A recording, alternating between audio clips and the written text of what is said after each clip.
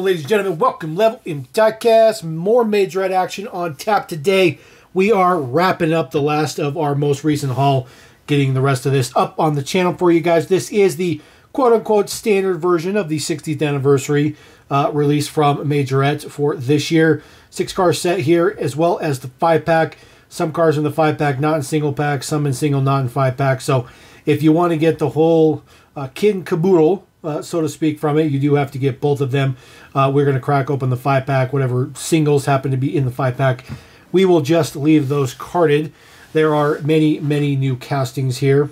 Uh, so we're going to just get right into this first one here. This is the five pack that does retail for $40 uh, Australian. That is uh, Australian dollars there. I did get this from Australia.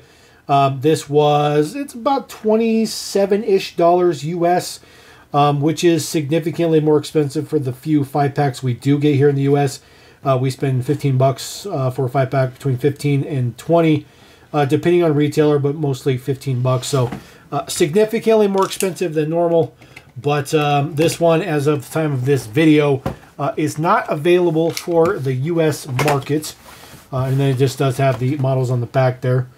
So it does show that they all have a moving feature which I call this line standard, but really it shouldn't be because it should be premium, um, not deluxe, but premium because 99% of them do have moving features. As a matter of fact, I think the only thing that doesn't have a moving feature is the Citroen uh, HY right there. Pretty standard fare here. They are attached with the rubber bands. Uh, we will just go ahead and do this uh, real quick in real time. We'll get these models cracked off of there. Um, the rubber bands on there. It's not that big a deal. Um, I just want to get them rolling through. We like to do things here in real time. Uh, kind of go through the whole process of what you guys are really going to go through. If you pick this up, there's a little uh, display of a city in the background right there. That is uh, France, I believe. I do believe that is a uh, scenic view of France because that's where Majorette started, was in France. So let's see if we can get some of these rubber bands off real quick. Pretty straightforward. There we go. I like when they uh, they do cooperate a little bit. Sometimes they uh, don't cooperate, but uh, sometimes they do. Just get those off of there super fast. I think this is way faster than trying to untangle them and do all that kind of stuff like that. Um, I just think this is a much, much more effective use of effort. All right.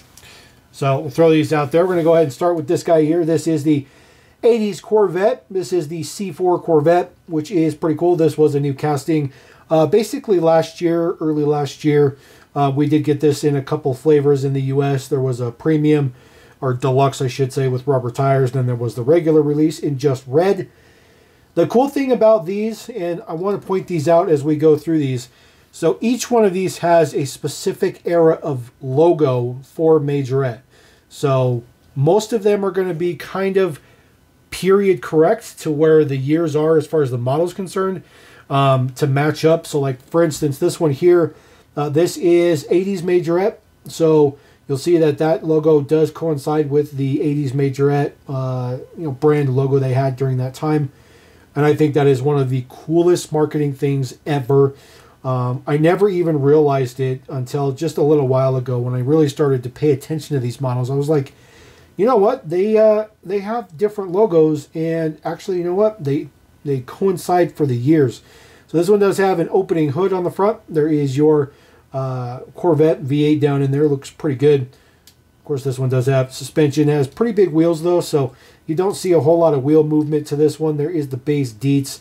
Happens to be 159th scale, but that is the uh, kind of late 80s, kind of late 80s uh, deco uh, for Majorette, which is actually pretty cool. I think even in maybe a little bit in the early 90s.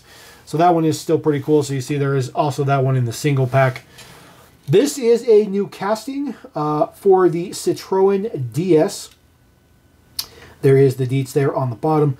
159 scale on this one. This one does also have a new wheel, which that wheel looks absolutely fantastic. Just a disc hub wheel, very similar to what Matchbox has, but uh, more appropriately, realistically uh, sized as far as the width and stuff. See, the Citroen does have that very inset uh, rear axle, which is very, very cool looking. So this one being 60s, uh, you know, 1960s era, There is your 1960s era majorette logo, which is just pretty basic. Just a bunch of yellow with the word majorette. Looks pretty boring, actually, but uh, I think it was probably eye catching enough. I mean, obviously, this brand has made it 60 years, so that's a good thing. Uh, lens headlights as normal for these models. Again, suspension as normal. This guy does have opening doors, which is super cool. So get those doors open, see if there's any detail on the inside of the door panel. There's a little bit of detail on the inside of the door panels. Not a whole lot, but there is some. This one is left-hand drive, which is weird. Um, I really feel like they should have made that right-hand drive, but uh, they made a left-hand drive, which is it's just kind of interesting. Uh, this is a pretty big casting, so this is definitely, um, I know it says it's 159 scale, but it feels bigger than that. Um, it feels maybe like maybe 155th scale almost. Um, it's it's pretty big. I mean, it's a really big casting. I mean, when you look at that Citroen sitting next to the Corvette, it's it's quite quite dramatic in the difference. All right, moving into our Volvo. Uh, this one is also a new casting. This is your uh, 240 GL. Uh, this one is super cool. I'm very uh, bummed out that they didn't make this an opening hatch. I feel like the opening hatch would have been, you know, much, much more appropriately uh, set in there. Um, this one looks to be maybe early 80s, maybe. So I'm not sure exactly what the deco. I, the deco is not familiar to me um, as far as like the color scheme, but um, maybe this was uh, maybe this was 80s, maybe ish, maybe maybe 70s. No. We'll try to put these in order in the way I think they go because I think that might be a little bit interesting. But anyways, this is the new casting for the 240. It does have lensed headlights. Those big, huge square headlights looks good.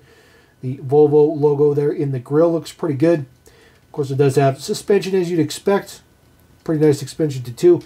Uh, this one has opening doors as well. I think opening doors is kind of bland. Matchbox is notorious for that too. Um, I really feel like they should put a little bit more effort into the model.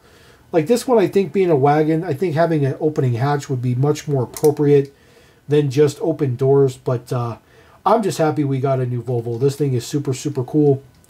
So I know some Volvo guys, and uh, they'll probably be pretty happy about this casting. This one looks all right. It's also 159th scale, so they claim that it is scaled to the DS, but that DS is extremely wide, so I don't think it's scaled to the DS. Not at all. All right, next one from that pack. This is also a new casting. You know, Majorette is jumping into the whole, uh, you know, German or German, uh, Japan thing, uh, JDM and stuff like that. They're starting to do way more.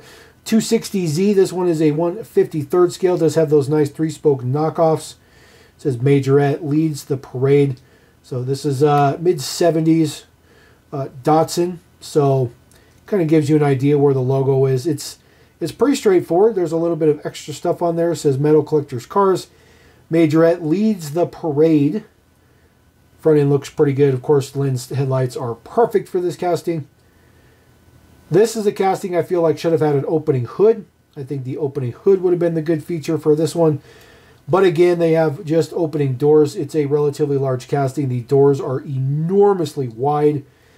I mean, they open just enormously wide. There's pretty much no casting detail on the inside of the doors for this one. But the doors open extremely wide. This casting looks pretty good. Does have uh, print for the taillights in the back.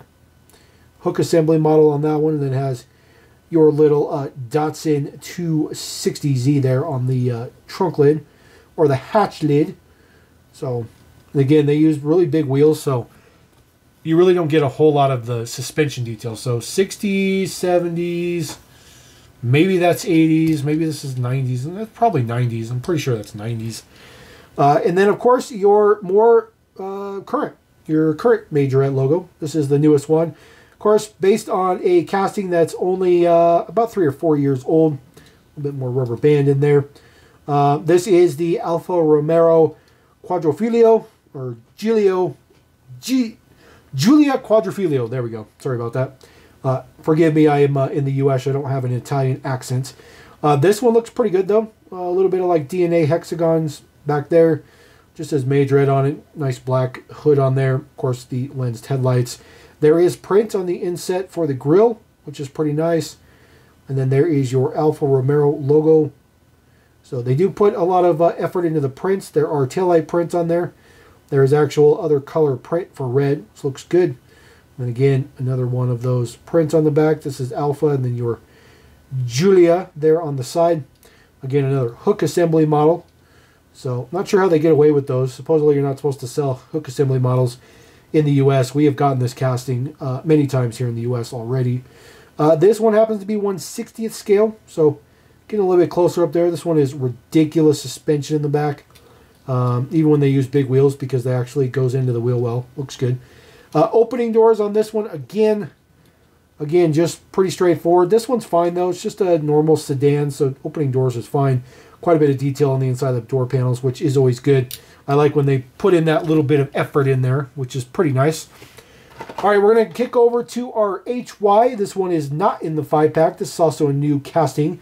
Uh, this is the one that I say is, you know, this is why it's not full premium. Uh, because this guy, at least I don't think he's got a moving feature. I guess we'll find out. He might have a moving feature. This is a new casting. This does use that new disc hub wheel. Um, this thing is enormous. I mean, it is super super wide. It's huge. I mean, this casting is huge. Nice red print on the top. This has the same era of print as the uh, DS does, which looks pretty good. Your Citroen symbol on the front, a little bit of print for the headlights.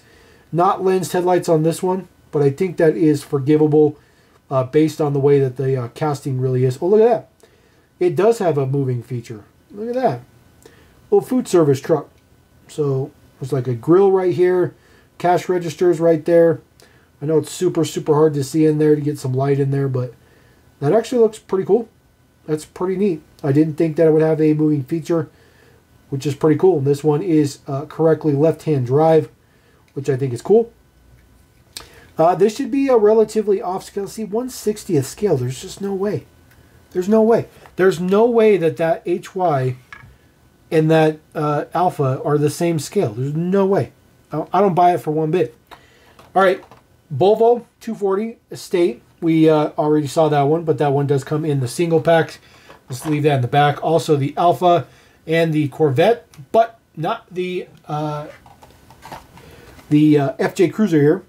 So you see, this FJ Cruiser is yet a different logo. We have not seen that logo just yet. So we're going to go ahead and crack this one open. The FJ's a pretty cool casting. They've done a couple of series with FJ's as well. I do like this newer off-road wheel they have. This guy does have suspension, although um, oh, I guess he doesn't have suspension at all. Look at that. No suspension. I guess it's just me pushing the axles. So no suspension on this one. See if he's got the scale on there. This one says it's 164 scale. Says it's actually 164 scale, but FJ on the uh, tire cover in the back looks good. Does have a tow hitch as well.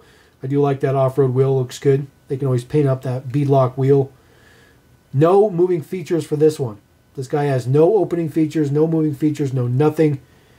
So I did not expect that. I thought for sure all of them would have a moving feature, but unfortunately this one does not. There is the logo on the top and does say Toyota there in the front. So this must be this must be like, let's see here. Let's push these guys down. Maybe this one. Try to remember logos, guys. I, I'll be honest with you. I kind of don't remember the logos. These two might be switched. Uh, as a matter of fact, I'm pretty sure they're switched. So I'm pretty sure that's the direction they go. Of course, this guy actually goes with the the Citroen down at the other side, but I'm trying to keep them in in order here because I just think that that's kind of interesting. All right, next one up. This one is also in single pack, not in the five pack, just single pack. Brand new casting Mercedes Benz 450 SEL. This one looks pretty good. This one is also going to uh, follow the same lines as some of the other ones we've already looked at as far as deco goes. See that detail on the side? Exactly the same as the Datsun. This is a pretty cool casting. This one does have suspension. It's a premium model. The bumpers are added on pieces. You see the interior is black, so those two bumpers are added on.